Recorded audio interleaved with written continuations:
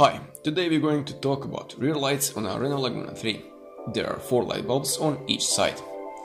This one is a tail light and a stop light. The next one is reverse light. On the bottom is a fog light. And of course, the direction indicator light. Okay, now let's take a look how can you change the whole rear light unit or just a single light bulb. To access the back of the light, remove the side panel in a trunk.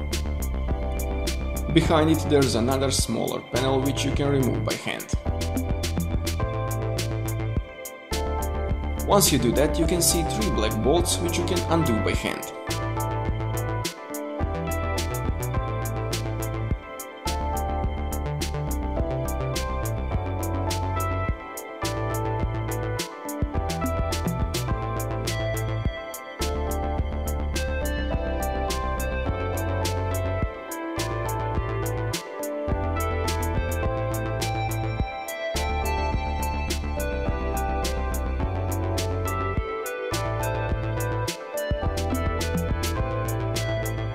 On the side, next to the place of the first and longest bolt is part which we need to push in order to pop the rear light out.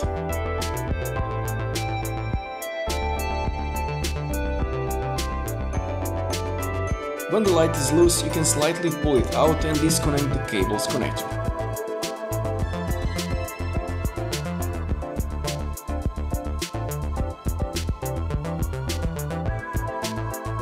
Now you can take the whole rear light unit out. Let's check how to change the bulbs. There is a foam cover which is easy to remove. Underneath is a bulb holder. You'll need to press the two clamps to get it out.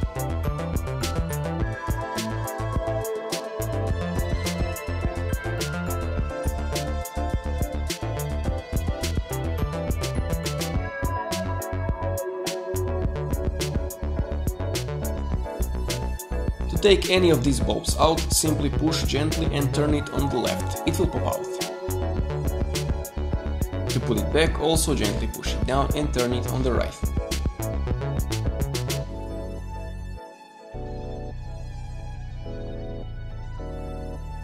To put it back together, just slide the bulb holder in its place and press it down until it clicks. You can find all the bulb types in the description.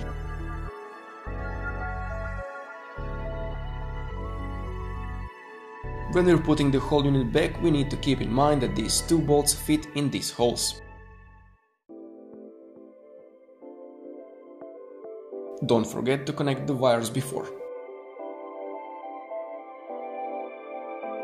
While putting the unit back, you can look from the trunk to help yourself guide the bolts through the holes.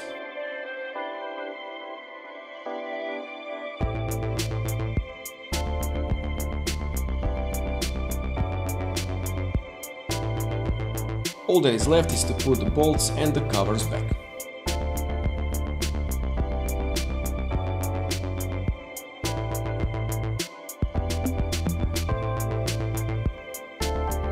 And that is it. Make sure you hit the subscribe button and the bell icon. Feel free to leave a comment if there is something we can help with and thanks for watching.